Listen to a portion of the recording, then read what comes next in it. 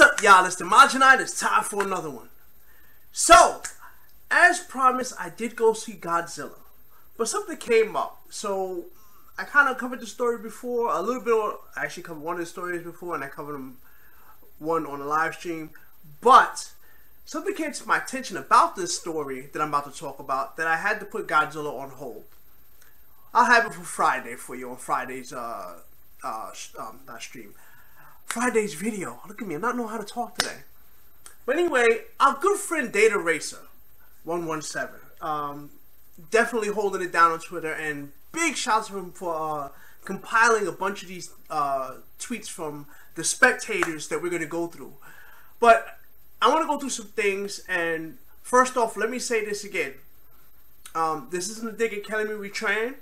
It's just a dig at how the media per, per, uh, perceived what happened to her and how it was spun and how narratives can be made.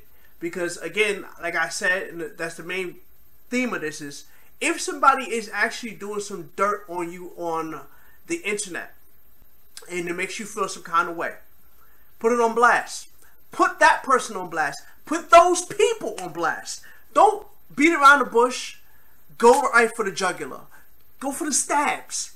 Stabby stabs. And I mean, figuratively, of, obviously not real stabs. But you know what I mean. Um, go for them where it hurts. Put them on blast on social media if that's what they're doing to you. Bottom line. Correct? Correct.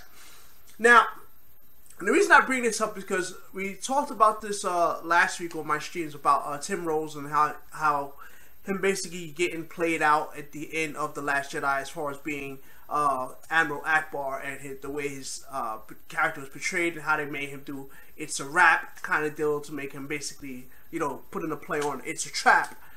But the thing that sticks out to me is that we remember when uh, Kelly Marie Tran put the uh,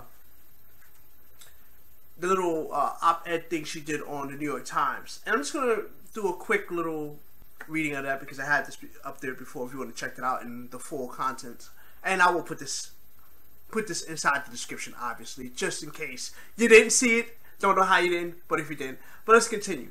This is from Kelly. It says, because the same society taught some people that they were heroes, saviors, inheritors of the manifested dynasty, dynasty ideal, taught me I existed only in the background of their stories, doing their nails, diagnosing their illnesses, illnesses supporting their love interests, and perhaps the most damaging, waiting on them for waiting on them to rescue me. And for a long time, I believed them. I believed those words, those stories, carefully crafted by society that was built to uphold the power of one type of person, one sex, one skin tone, one existence. Now, again, Kelly, we love you. You're a very beautiful woman. I, am pretty sure that you are very talented. Of course, we really can't get the full grasp of your talent when they give you crap storylines to read like Rian gave you. Well, hopefully, we give you something better in the Rise of Skywalker. Hopefully. But um, that's not telling us anything. That right there is telling us a uh, societal, uh, I guess, breakdown of what they perceive people of color or, you know, Asian women in your case. And one of the things I want to uh, pick out of that, again, obviously I'm not a white male. Um, but as I grew up, the only thing I, the only thing that really made me feel different is that I was a very sick kid. That was it. Other than that, I didn't see this whole oppressive thing that people were saying. I saw it more as I saw more instances of, instances of it as an adult seeing it on TV or whatever. But when I grew up, it was none of that. Like I had white friends, Spanish friends, Latino friends. You know, I, it didn't really make a difference to me. You know what I'm saying? Um, so I really don't get that per se. Listen, I'm not not saying it didn't happen, but at the same time, what this what is written here seems more like something that was like a societal thing and what she had to deal with as far as getting her roles in Hollywood. That's what it seems like. And again, that's the point I'm trying to say. If somebody's putting you on blast, put them on blast. Just that simple. And the reason I say that because our good friend Data Racer, right? And the reason I, I brought that up to begin with is that he compiled a crap ton. I only took a, a, picture of a page because I'm not gonna sit here all day giving people any shine. But you you'll see what I'm talking about. You know, you got people up here saying, you know, this is in regards to the article that was put out that um you know, uh Tim Rose like, oh yeah, you know, I uh I was in tears, blah blah blah, you know, from you know how they basically played my character out. And he says my character like some people say, Oh, your character was always a joke, bro. Remember it's a trap, it's a meme, blah blah blah.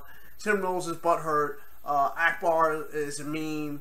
Uh, you know, you got people say, "Oh, you was only in uh, the movie for for a few minutes." Blah blah blah. Iconic. All this nonsense. Okay, listen. You have to introduce the character somewhere, right? You have to, right? Now, would you have said the same thing about I don't know, Mon Mothma? Mon Mothma? I'm that. You know what I'm talking about, Mon Mothma. the one of the leaders of the rebellion because she was only in you know the OT for like a hot second. They put her into the uh, prequels a little bit more. You know, they expanded upon some more, but they expanded upon Ackbar too within the expanded content and expanded universe. So, would you say the same thing about her, or is it just because it's a dude? I'm not sure. I'm, I'm confused because to me that doesn't make any sense. But again, the point of this I'm trying to say is this is actual evidence of people more or less bullying somebody who's a, basically this is ageism, if you want to ask me, because he's an older gentleman.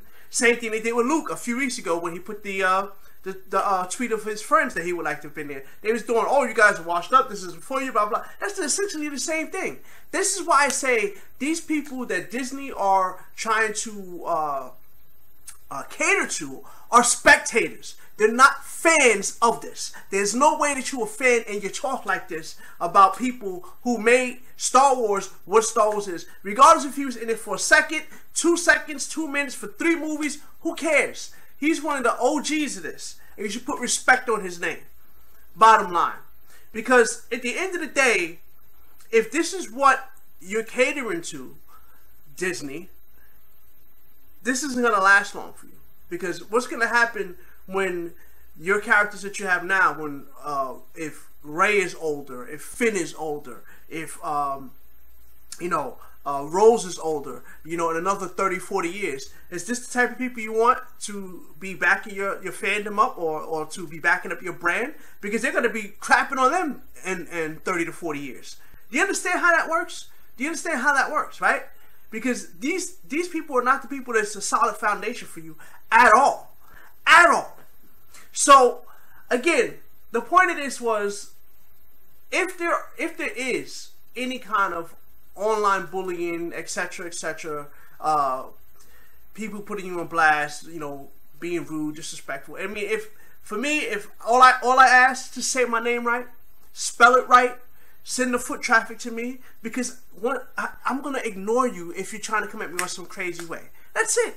I don't know. You could t- you could you could be typing away into the oblivion. Don't care. Okay? Don't care. So, um, that's all I ask if you're going to try to put me on blast. Just say my name right. Give me the foot traffic. You know, I can use that. Get some subs, all that stuff like that. Because my, my goal is to start to be able to monetize you fools. And, and once that happens, I will be monetizing you to the fullest extent of my power. Bottom line. But anyway, again, like I said, um, you know, we need to respect respect the people who brought Star Wars where they are. Um, you know, stop being stupid out there with that nonsense. And of course, you know, with Kelly, um, you know, her, her given name. Um, and listen, again, put them on blast. I got no problem with you. I think you're a very beautiful woman. I said it a thousand times because you are. Um, I would just like to see. I just hope that they don't give you any kind of a crap uh, storyline going forward. And maybe I would like to see you some other things too. Let, us uh, get you out of Star Wars and and uh, see see your range of different things because to me what it looks like, which I hope it doesn't happen, especially for you because you seem like a really nice lady.